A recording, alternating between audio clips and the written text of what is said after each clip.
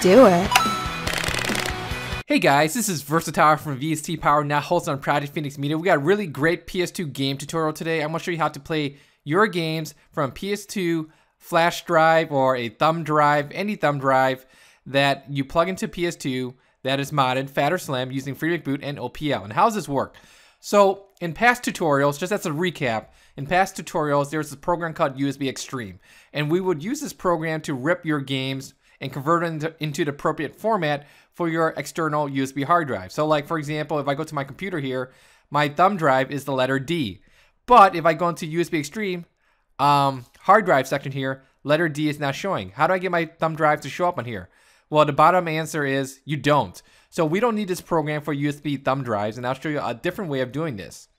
So what you want to do is go to your computer, plug in your thumb drive, go ahead, right click your thumb drive, go to format, and just make sure it is the FAT32 format. I already did that, so we're good to go.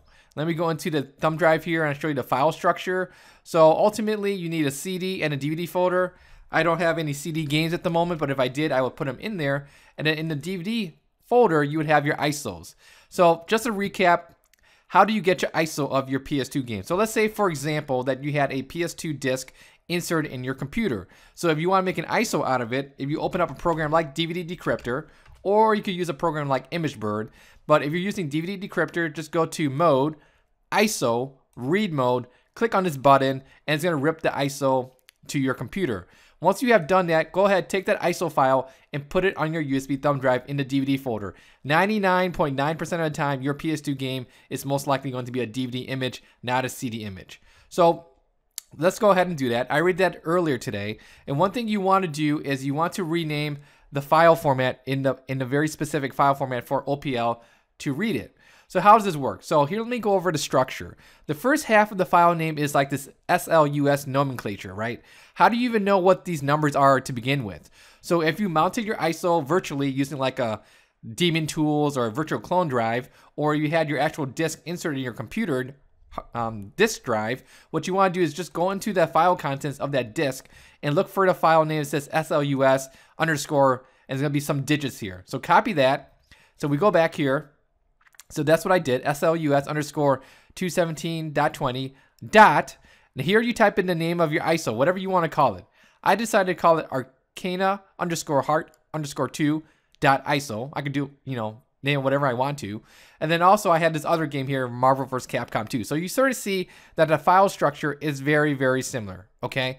And then after you're done that, Every time you add a new game into like your CD or DVD folder, every time you do that, you're going to have to defrag your thumb drive. And this is the part that really sucks because it's going to take a while to defrag a thumb drive when compared to a USB external hard drive. So one program I like to use is called Smart Defrag 3. And what you want to do is go ahead, insert your thumb drive. And then what you want to do is um, go here, go click on the Analyze button. And then it's going to analyze your, your thumb drive.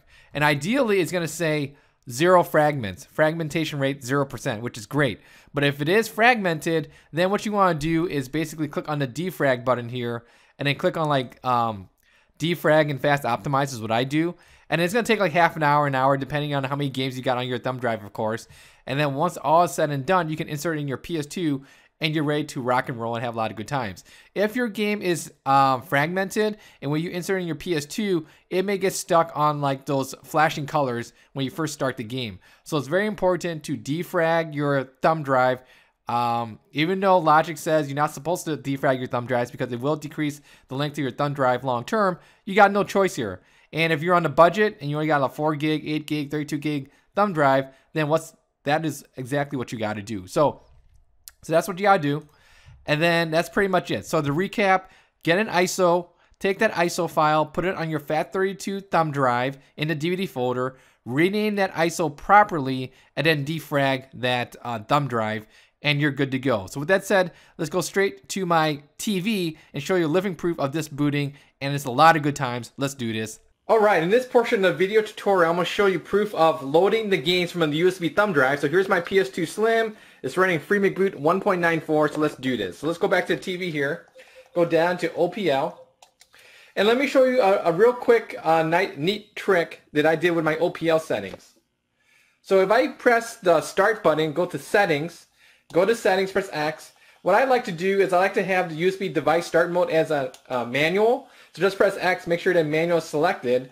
And then when I go to default menu, I just make sure that USB games is selected, press OK, click on save changes, and then you're good to go and press circle.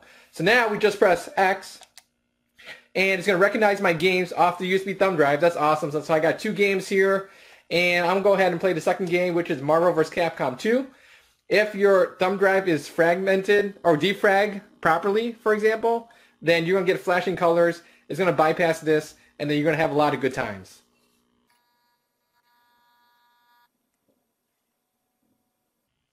So one thing I do want to note is um, obviously using USB external hard drives is the best. But if you're on a budget and you only got thumb drives, then that's the second best alternative. All right, sweet. So we got, I'm going to go ahead to the main menu here.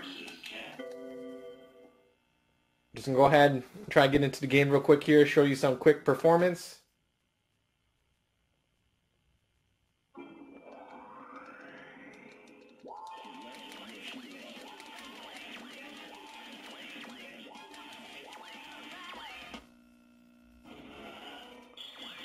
All right.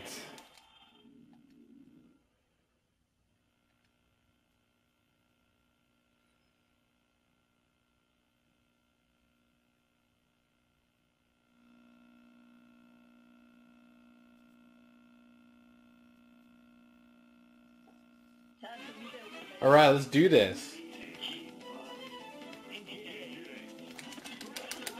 So anyways, we can clearly see that the game works fine using a PS2 thumb drive. So if you guys have any nitpicky questions, leave a comment here on YouTube page. I'll get back to you as soon as possible. Once again, thanks for watching. Take care. Bye.